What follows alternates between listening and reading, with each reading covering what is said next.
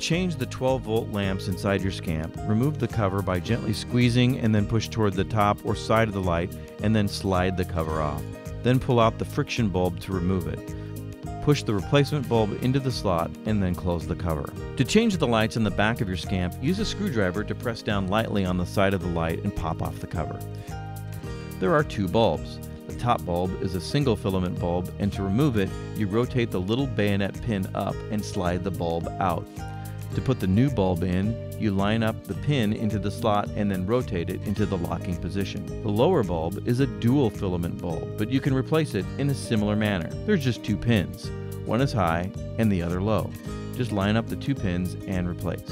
To replace the side marker lights, just like the brake lights, use a screwdriver and gently press on the side of the light to pop off the cover. There's a small bulb that will slide in and out of the socket. Then you pop the lens cover back into place.